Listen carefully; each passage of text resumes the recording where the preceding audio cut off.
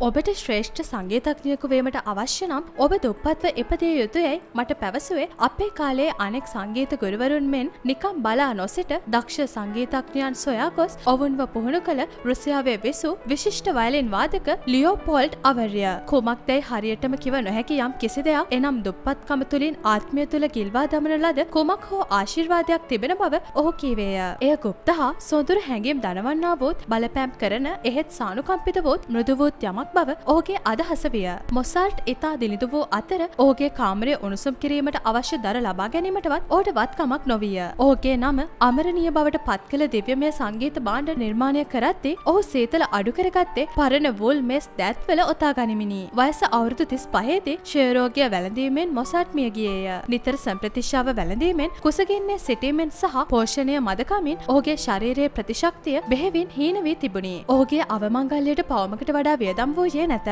දේහේ බහලු ලාභ පයින් ලීයෙන් ඇට වූ පෙට්ටිය පසුපස ගමන් කිරීමට සිටියේ හය දෙනෙකු පමණි. අනේ අතර මගදී කඩා හැලුණු වැස්ස හේතුවෙන් ඔහුද ආපසු හැරී ආවෝය.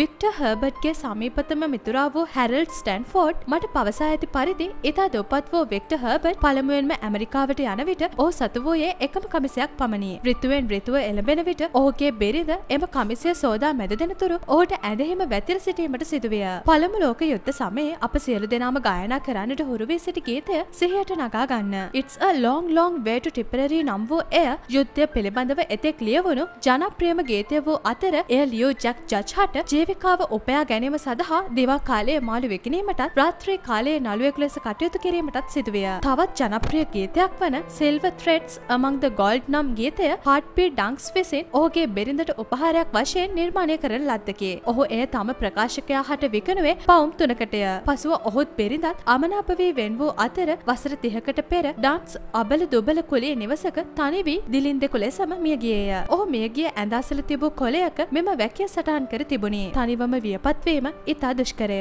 ලෝකයේ වඩාත්ම ප්‍රසිද්ධියට පත් සංගීත කණ්ඩය නිර්මාණය කරන ලද්දේ මස් වෙළඳෙකුගේ පුතෙකු විසිනේ. පුදුමයකට මෙන් එය නිර්මාණය කරන ලද්දේ අයෝවාහි කුකුල කෑම පෙට්ටිය සහ ඌරුකොටු අතර හිඳමිනි. එය හෝම රෙස්කියෝ ලෙස හැඳින්වෙයි. අද පවා රෑක හෝ දහවලක හෝ කොතැනක හෝ හෝම රෙස්කියෝ සංගීත කණ්ඩය වාදනය නොවන එකම පැයක්වත් සොයා ගැනීම අසීරුය. එය නිර්මාණය කරන ලද්දේ ඇන්ටෝනින් ඩ්වොරක් නැමති බොහිමියානුවා විසිනේ. වයස අවුරුදු පනහේදී ඔහු ඇමරිකාවට ගිය අතර ඒ පරිසරයේ ශබ්දයන් හා සංකීර්ණ බව ඕට දරා ගැනීමට නොහැකිවිය. එබැවින් හෙතෙම යෝවස් පිල්විල් වෙත ගොස් මද කලක් ඒ ජීවත් වූයේය. ස්පිල්විල් අදටත් කුඩා ගම්මානයක් වන අතර එහි දුම්රිය මාර්ග හෝ පදික වේදිකා සහිත මංමාවත් දැකගත නොහැක. ස්පිල්විල්හි වාසය කරද්දී ඩ්වොක් විසින් නිව් වර්ල්ඩ් සිම්පොනීහි කොටසක් නිර්මාණය කරන ලදේ. එය මිනිසකුට සිදු කළ හැකිවෝ ඉතාම අලංකාරවෝත් මිරිතමවෝත් නිර්මාණයකි. ස්පිල්විල්හිදී නිර්මාණය කළ බැවින් ඩ්වොක් විසින් එය ස්පිල්විල් සිම්පොනී නමින් හඳුන්වන ලදී. ඩ්වොක් උපත ලැබුවේ මෙයින් වසර එකසිය දාහත්තරකට පමණ පෙර බොහිමියානුවේ ඈත ගම්මානයකය. ඔහුට නිසි අධ්‍යාපනයක් නොලැබුණු අතර පැය ගණනාවක් තම පියාගේ මස් වෙළඳපොලෙහි සේවය කිරීමට ඔහුට සිදුවිය. ඔහු සොසේජස් සාදatti ඔහුගේ මනසෙහි මිහිරි සංගීත කණ්ඩ වාදනය වන්නට විය. ඌරු මස් කපන විට ඔහුගේ හදවතේ මියුර ගීත උතුරා ගියේය. ඔහු මස් වෙළඳපළ අතහැර සංගීතය හැදෑරීම සඳහා ප්‍රෝග් නගරයට ගියේය. ඒත් ඒ සඳහා මුදල් ඔහු ඉඳහිට වේදයේ වයලීනය වාදනය කර උපයාගත් පැස දෙක තුනක් හැරෙන්න්නට ඔහු සතුව මුදල් තිබුණේ නැත. නගරේ ඉතා දිනිදු දුෂ්කර ප්‍රදේශයක් වූ ගැරට්හි කුඩා කාමරයක දිවි ගෙවීම ඔහුට මත් පීඩාවක් විය. එම කාමරය ඉතා ලාභයකක් වුවද ඔහුට එම කුලිය පවා ගෙවා ගත නොහැකි විය. එම නිසා ඔහු එය තවත් දුපත් සිසුන් පස් දෙනෙකු සමඟ බෙදාගත්තේය. ශීත රිතුවේදී කාමරය තුළට දැඩි සීතලක් කලා ආවේය. කුසගන්න හේතුවෙන් ඕගේ සිරුර දුර්වල වී තිබුණේ. ඔහු ඉතා අබලන් වී සමහර ස්වර යතුරු පවා කැඩී තිබුණු පියානෝවක් මිලට ගැනීම සඳහා නොකා නොබී මුදල් එකතු කළේය. එම සීතල ගැරට්කාමරේ එම කබල් පියානෝව අසල හිඳගෙන ඔහු විසින් කොතරම් මියුරුතානු නිර්මාණය කරන්නට ඇතිද. එහෙත් ඒවා සටහන් කර ගැනීමට වෝක්ට හැකි වූයේ නැත.